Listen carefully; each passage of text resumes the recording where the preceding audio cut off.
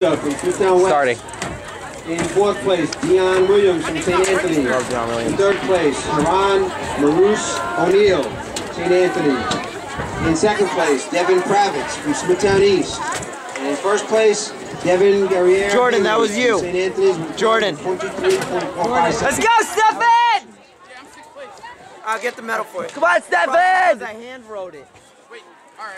Wait, I got, it. I'll get the medal though. I got a medal for sixth place? Yeah, they get top six. Oh, really cool.